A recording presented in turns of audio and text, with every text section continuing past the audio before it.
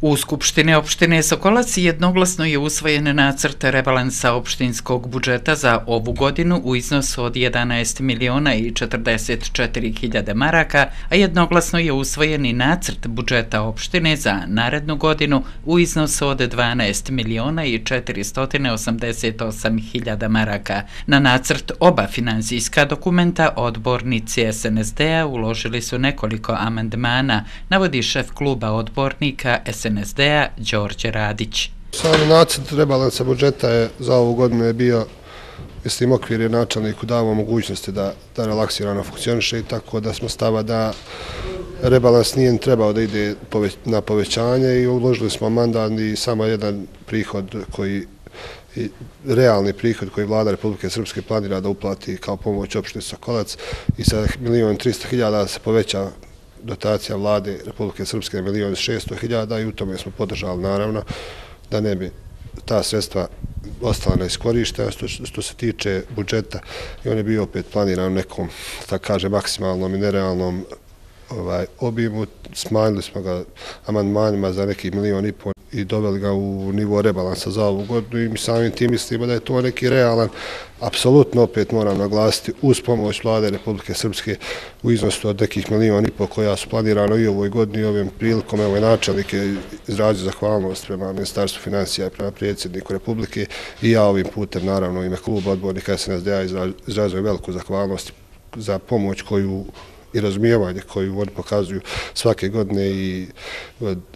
pomoć ovoj opštine Sokolac.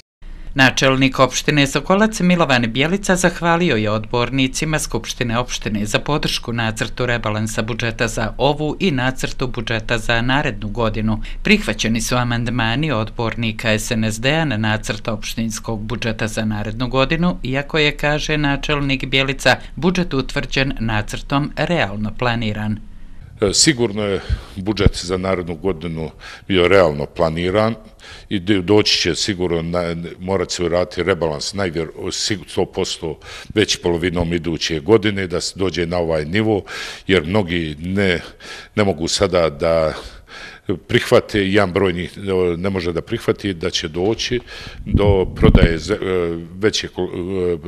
površine zemljišta na ravnoj Romaniji, naplata građevinskih dozvola, jer smo gore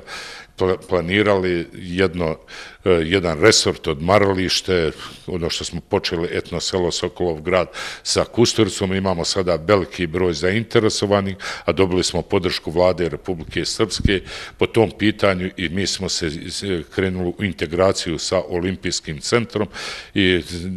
vlada će nam obezbijediti sredstva za rješavanje infrastrukture odmah sa početkom građevinske sezone, kada je pitanju vodosnodbijevanje i rješavanje rješavanje otpadnih voda i rješavanje putnih saobraćajnica u tom dijelu. Nije to velika površina, negdje oko 400 duluma, ali ćemo završiti to da možemo ovaj, raspisati javni poziv za prodaju, oglasiti lokacija, a imamo i sada zainteresovanih čak za izgradnju i većih hotela sa pet zvjezdica na Romaniji. Načelnik Bjelica je najavio i izgradnju solarne elektrane na Sokocu snage 100 megavata koja je bilansirana e, e, bilansirana u e, nezavisnom operateru sistema elektroprenos u Bosni i Hercegovini i elektroprenos je baš danas je dao saglasnost za priključak na dalekovod od 110 na području Sokoca, tako da potencijalni investitor iz Njemačke, gdje je investitor 100%, njemački investitor 100%, da će se e, još završiti, imamo nešto sa dokumentacijom da riješimo u Ministarstvu za energetiku i Ministarstvu za e, urbanizam. Mislim da će danas biti završeni papiri u Ministarstvu za urbanizam kod je pitanju ekološka saglasnost e, i energetika će posle da potpiše koncesiju, a mi smo završili sa komisijom za koncesije, to jeste podnijeli smo svu dokumentaciju, dosadašnji korisnik te koncesije koje je dao saglasnost da se odriče te parcele koja je, koju je koristio kao pašnja koja nije obrađiva i negdje oko 2000 duluma će biti rezervisano za izgradnju te solarne elektrane, to je proizvodnja zelene energije koja za sobom povlače zelenu privredu. Možda to izgleda sada bombastično, nerealno, ali ćemo se sresti za godinu dvije dana pa ćemo vidjeti koji su efekti sve ove priče i ovog rada prethodnih 4-5 godina gdje smo se pripremali za ove dane. Načelnik Bjelica naveo je da predstoji priprema za realizaciju još nekoliko značajnih projekata na Sokocu. Postrojenje za prečišćavanje pijaće vode sa češkom vladom, on će svo kompletno postrojenje finansirati, ali mi moramo uraditi taj građevinski objekat koji je negdje oko 400.000 konvertibilnih maraka. Moramo sufinansirati isto jedan e, projekat koji se koji planiramo to je postrojenje za prečišćavanje i tretman otpadnih voda i još jedan kanalizacioni vod e, od e, klaonice u Sokocu do Glasenačkog polja. I s tim zaokružujemo kompletnu infrastrukturu na području naše opštine. Sokolac je jedina opština koja je riješila kompletnu i sa ovim će riješiti kompletnu infrastrukturu i mnogo toga je uloženo, utrošeno i doveli smo i budžet u tešku situaciju, ali smo morali sufinansirati sve ono što je smo mogli da dobijemo od međunarodnih organizacija, međunarodnih finanskih institucija, ali u svim tim projektima mora da učestvuje lokalna zajednica. Mnogo toga urađeno je i u oblasti energetske efikasnosti, a završena je kompletna infrastruktura u četiri sokolačka naselja, Čilimera, Sokolačke njive, Majdani i Brezjak, rekao je načelnik Bjelica navodeći projekte čija realizacija predstoji naš prioritet u narednom periodu će biti nastavak e, rada na energetskoj efikasnosti. Sada moramo raditi na kada utopljavanju i e, doma zdravlja i e,